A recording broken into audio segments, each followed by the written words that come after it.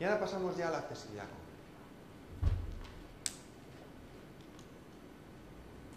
Ejemplo real, no era del aeropuerto. ¿Cuál es el baño? La puerta estrecha. Bueno, pero a todo esto, a lo mejor eso estoy tomando el pelo en el baño. ¿Hay baño?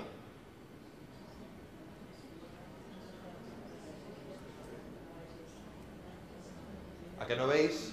¿A que no veis al pitufo desnudo? Es decir, esto nos plantea un problema de accesibilidad cognitiva. Hay un baño, es el baño de, en la puerta de la izquierda, y además es el baño accesible. El baño que está adaptado para personas usuarias de silla de ruedas. Imaginaos una persona con esas dificultades que tenga una urgencia. La situación tan dificultosa que tiene, porque además es que tampoco creéis que la señalización hasta llegar ahí es adecuada, en absoluto. Tren de cercanía. Pone arriba, por el reflejo a lo mejor no se lee bien. Martillo rompe cristales. Se ve un dibujo y debajo pone romper el cristal para acceder al martillo.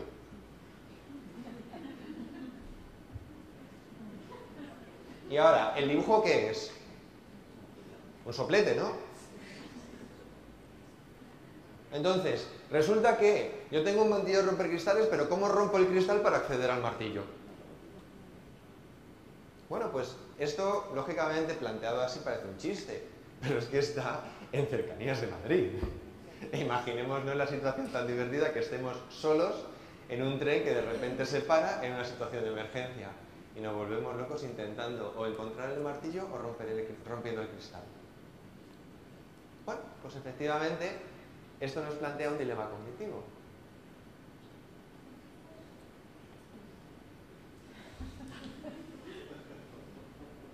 Oye, que está marcado en negrita cláusula y tipo de interés. Seguro que algo os ayuda. ¿Cuántos textos tenemos de este estilo que podríamos simplemente, acortando frases, poniendo unos puntos adecuadamente, utilizando un lenguaje más sencillo y ordenando sobre todo las ideas que queremos contar, ¿cuántos textos tenemos que simplemente haciendo esos ajustes podrían ser mucho más sencillos? Y esto está pensado para personas con una competencia lectora estándar. Es decir, personas que en un momento dado, pues, oye, que han tenido su licenciatura, sus másteres y tal, que supone que tiene una competencia adecuada, pero desde luego el que lo ha redactado igual no tenía esos estudios, ¿no? O a lo mejor sí. Y aquí tenemos que observar la intencionalidad del comunicador. Pues efectivamente la accesibilidad cognitiva parte de algo tan sencillo como aquel esquema tan antiguo que nos enseñaron de la comunicación, en donde nosotros tenemos que resolver el ruido. Y el ruido, no he entendido como la distorsión que a lo mejor ahora nuestra compañera de la cámara puede sentir, porque ¿mucha distorsión tienes? ¿Sí? Venga. Tú en la cámara te estoy friendo, ¿verdad?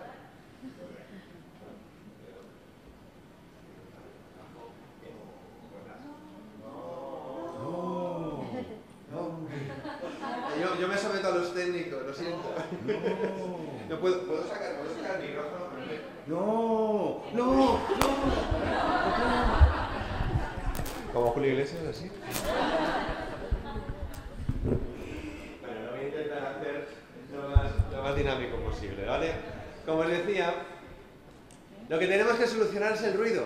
Y ese ruido no es, pues efectivamente, lo que ha hecho que haya tenido que apagar la petaca, sino eh, cualquier cuestión que hace que el mensaje que queremos comunicar no llegue en las condiciones óptimas para el receptor. Y ese mensaje puede ser un texto, puede ser una página web, puede ser un pictograma, puede ser ese examen que queremos hacer, pueden ser muchísimas situaciones. Y entonces lo que nosotros lo que tenemos que hacer es aplicar determinadas herramientas para conseguir eliminar ese ruido. Tenemos que adaptarnos precisamente a la persona que tenemos enfrente o con la que tenemos que interactuar para efectivamente conseguir que ese mensaje se entienda. Y eso implicará unas modificaciones que pueden ser a lo mejor, como hemos visto en el ejemplo de las dos puertas azules, pues algo tan sencillo como marcar los marcos de las puertas, pintar de blanco el fondo de la pared y las puertas las mantenemos azules con un correspondiente icono que indique cuál es el baño y cuál es el almacén, que la otra puerta es el almacén. Solucionado. Inversión, un bote de pintura o dos. Tan sencillo como eso. Y nos libramos de cuestiones que generan un enorme estrés. Porque ante esa situación, imaginaos, pero es que no solo está pintado de azul esas dos puertas, es está pintado todo el edificio, que no lo habéis visto.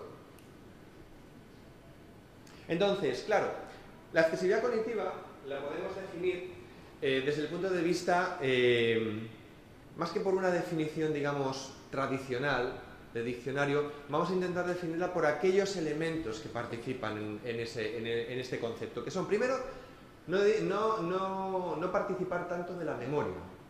Entre otras cosas porque muchas veces las personas que tienen una dificultad cognitiva, derivada por cualquier circunstancia, pues una de las cuestiones que tienen más eh, complicadas es la memoria. decir, ayer, por ejemplo, estábamos en una mesa eh, redonda en un congreso foro iberoamericano de literacidad y aprendizaje. Y entonces, una de las cosas que, eh, de las que hablaba un ponente, que era maestro de educación especial en un colegio de, de estudiantes con síndrome de Down, decía, es que empiezan a leer una frase y cuando han llegado al final de la frase es que no se acuerdan del principio. Pero hombre, si es una frase, bueno, pues imaginaos la situación. Es decir, es que puede, y, de nuevo, es decir, son situaciones que a veces hasta pueden parecer cómicas, pero es que son verdaderamente dramáticas para las personas que lo están viviendo. Entonces, imaginaos esta situación.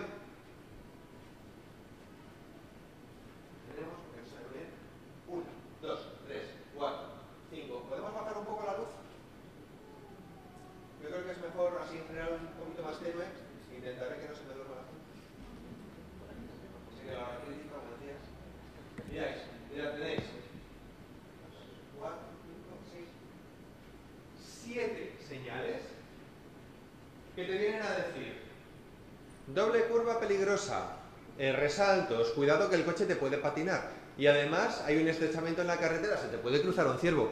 Y oye, si acaso también tienes una carta, puedes pasar por correos. Ocho señales. Intentar hacer que la memoria sea aquel recurso fundamental para retener la información puede ser muy interesante en determinadas circunstancias, pero no es práctico para la mayoría de las situaciones necesitamos contar con elementos que refuercen. Segundo lugar, utilizar el mayor número de formatos complementarios como sea posible. Creo que la lista que os ha dado José Alfredo es magnífica para cumplir este principio. Debéis adaptaros a la idea de que las personas con las que estáis interactuando, vuestros alumnos, vuestras alumnas, pueden tener necesidades diferentes y pueden captar la información mejor de una manera diferente. Entonces, no se trata de plantear una un único formato, se trata de dar un abanico. Se trata de tener recursos complementarios. Habrá algunos que puedan entenderlo mejor con el sonido. Habrá otros que puedan entenderlo mejor con un PowerPoint. Otros que a lo mejor tengan el texto bien trabajado y efectivamente lo consigan así entender mejor. Tenéis que pensar siempre en aquel recurso. Tenéis que individualizar ese tipo de, cuestiones. Luego también reducir la necesidad del destinatario de utilizar habilidades organizativas complejas. Esto es fundamental en la accesibilidad cognitiva. ¿No os podéis imaginar, por ejemplo, ese plano que os he puesto? Un plano es complicadísimo, pero enormemente complicado de interpretar, porque estamos dibujando en dos dimensiones algo que es tridimensional. Y encima estamos haciendo que determinadas líneas aparenten ser lo que supuestamente son muros, encaminamientos, etcétera, con una codificación que supuestamente, supuestamente es estándar. Mentira. Mentira. Es decir, al final cada plano responde a unos criterios que es el que ha dibujado el plano. Y entonces tenemos una enorme complejidad porque se están trasladando conceptos hacia una forma determinada de dibujo. Entonces tenemos que liberar esa necesidad que hay de aplicar habilidades organizativas complejas, porque personas que tengan, por ejemplo, una discapacidad intelectual, no van a poder asumir esa situación. Pensad, por ejemplo, cómo moverse en un colegio. ¿Cómo moverse en un colegio? Y luego otra cuestión importante, presentar el vocabulario a nivel de lectura que se aproxime al nivel de comprensión de los receptores. Aquí tenemos que trabajar mucho. Nos hemos acostumbrado a escribir de determinadas maneras y desde luego sí que tenemos siempre que ponerlas en revisión. Esto es una cuestión fundamental porque la, eh, pensad en una cosa, ¿en qué momento de la historia de la humanidad ha habido más textos que ahora? ¿En qué momento de la humanidad ha habido más textos que ahora? Estamos rodeados de pantallas, pero no paramos de escribir. Y sin embargo nuestra comunicación escrita no ha mejorado. Y por último, hay otras dos cuestiones complementarias a, este planteamiento de la accesibilidad cognitiva. Primero, adelantar información. Por ejemplo, eh, para personas que tienen dificultades cognitivas es muy importante anticiparles lo que va a venir a continuación. Darles una idea de lo que van a hacer al día siguiente, de lo que está por venir por la tarde, de esa actividad cómo va a ser, de quiénes van a ir. Y otra cuestión muy importante son los apoyos personales. Es decir, eh, por ejemplo, en el caso, en el caso de, discapacidades intelectuales, el hecho de que una persona necesite un apoyo personal es algo que además desde Plena Inclusión Madrid, pues, desde el movimiento Plena Inclusión se reivindica. Es decir, que efectivamente el apoyo personal sea algo que forma parte de como recurso de accesibilidad, por así decirlo. Y de hecho, pues en Madrid ahora mismo se está intentando promover una oficina de vida independiente que promueva esos apoyos personales. Es decir, muchas veces no va a ser suficiente con determinadas soluciones técnicas, por así decirlo. Es que la persona también tiene un papel muy importante para ayudar a mediar en el conocimiento del entorno o de aquellos mensajes que tiene que interpretar la persona que tiene esa dificultad. Mirad, la accesibilidad cognitiva tiene muchas cuestiones que resolver. Por ejemplo, el control del espacio y el tiempo, la comprensión del entorno inmediato, es algo eh, que nos ayuda a cómo desenvolvernos en determinados espacios. Este es un hospital en Asia y como veis han utilizado el color para diferenciar los diferentes departamentos. En algunos hospitales ya he visto también las líneas en la pared de diferentes colores que te orientan hacia determinados departamentos clínicos también. Es decir, y luego el, hecho, por ejemplo, que se haya generalizado, por ejemplo, en el uso del transporte en muchas paradas, tanto de autobús como eh, de metro, en aquellas ciudades que lo tienen, el hecho de anticipar cuánto tiempo queda. Es decir, la necesidad de generar seguridades en el entorno es fundamental cuando hay un problema de déficit cognitivo. ¿Qué debemos resolver también? Comprender las informaciones y apreciar la importancia relativa ¿Y por qué pongo el mapa del Metro de Madrid en dos versiones diferentes? No sé si eh, vivisteis, conocisteis este mapa de Madrid, el que está en la derecha, el rectilíneo. ¿Cuál es el problema? Hubo una polémica muy grande. Eh, ¿Quiénes sois de Madrid? los que sois de Madrid, ¿recordáis la polémica? Sí. ¿Cuál era la polémica? Las distancias, que no las controlabas. Las distancias. ¿Y alguna cosa más había en torno a esa polémica? Claro, en general se hablaba de las distancias, pero para conocer las distancias reales debemos tener muy presente cómo es el mapa de Madrid. Una persona que no ha estado en Madrid, ¿creéis que el hecho de que estén pintadas las estaciones más o menos separadas le aporta algo? Porque realmente si no conoce las distancias que hay entre Arganda y Vinateros, por ejemplo, mm, a lo mejor puede entender que es mucha distancia, pero el de Madrid a lo mejor entiende que es algo menos, pero hay que ser de Madrid o conocer muy bien el plano. El problema no era tanto eso. El problema es que el diseño era monótono y era difícil localizar la información.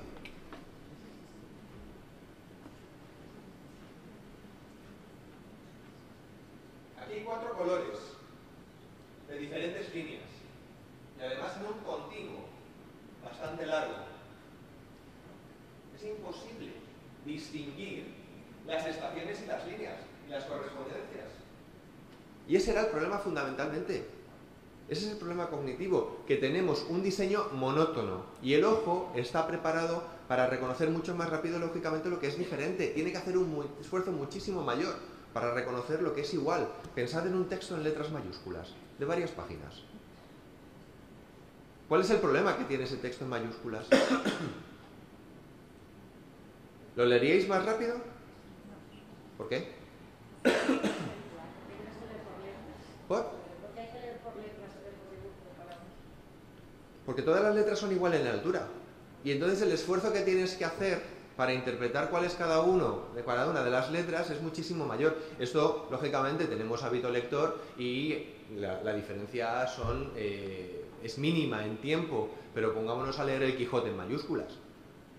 Igual ahí sí que notamos más el cansancio que experimentamos porque estamos forzando el ojo. Bueno, pues esa es una cuestión también que afecta al elemento cognitivo, la monotonía, el cómo hacemos relevante una información.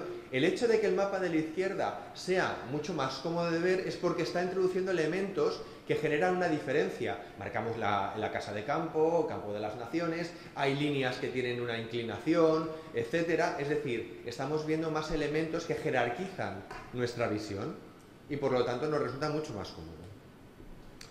Otras cuestiones, pues eso, que tiene que resolver la ciencia cognitiva, el cálculo, el razonamiento lógico, los conceptos abstractos. ¿No os imagináis lo que es el tema de los conceptos abstractos, la metáfora? La literalidad que tienen las personas que tienen una dificultad cognitiva. Que cuando dices que llueva cántaros, miran al cielo. Y lo mismo, suena chascarrillo, pero es que es una realidad. Es una auténtica realidad. Y sobre todo me gustaría haceros muy sensibles a estas cuestiones, que todo esto que parece que os cuento como chascarrillos realmente suponen verdaderos problemas y verdaderas barreras. Otras cuestiones también importantes que deben resolver, la cuestión de las normas sociales, el cómo relacionarse, el cómo adaptarse a cambios imprevistos. Es decir, las soluciones de accesibilidad cognitiva deben resolver también estas cuestiones. El hecho, por ejemplo, de que en parques temáticos ofrezcan ese tipo de iconos tiene un poco que ver también, porque claro, ellos lo enfocan lógicamente a que tienen muchas personas de muchos diferentes idiomas. Entonces esa es una manera de integrarlo. Y es que efectivamente la accesibilidad cognitiva va también orientado para cuando tenemos una dificultad en el conocimiento del idioma donde, del país donde estamos. Pensemos cuando hemos ido a lo mejor, si habéis estado en un país que tiene un alfabeto diferente al latino. Rusia, países árabes, Asia, pues claro, es decir, yo me acuerdo de un compañero que contaba que menos mal que hizo la foto de la fachada del hotel, porque si no todavía está en Pekín, porque resulta que el hombre se le olvidó la tarjeta del hotel, iba a los taxistas y no sabía decirle el nombre del hotel. Y entonces de repente se acuerda, ah, mira la foto. Y entonces ya el taxista dijo, ah, ahí vale, y te llevo. Pues efectivamente son barreras cognitivas. Todo eso y que podemos experimentar además cada uno de nosotros. ¿Y a qué afecta? Pues afecta a estos ámbitos. Información textual, información visual con pictogramas o con ilustraciones, navegación en Internet, interacción con máquinas. Hablamos de los cajeros automáticos, hablamos de comprar billetes de transporte, de cómo muchas veces nos vuelven locos a pesar de que nos ponen unos botoncitos que supuestamente son muy fáciles, pero que tenemos que dar 10 pasos para hacer la compra de un billete. A lo mejor hay que hacer una asignatura aquí en el curso para cómo comprar un billete, ¿verdad? Tenemos también señales, diseño de entornos, productos. Es decir, afecta a ámbitos muy amplios. Afecta a ámbitos muy amplios.